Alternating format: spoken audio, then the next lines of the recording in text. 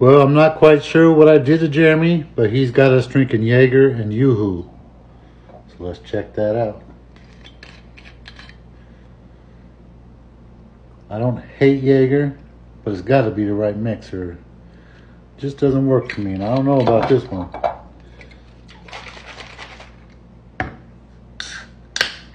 Top that with our Yoo-Hoo.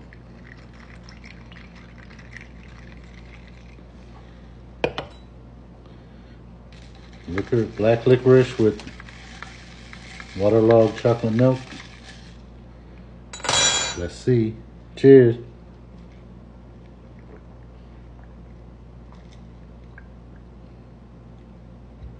Well, it's definitely not as bad as I thought, but it's definitely not well goddamn worthy.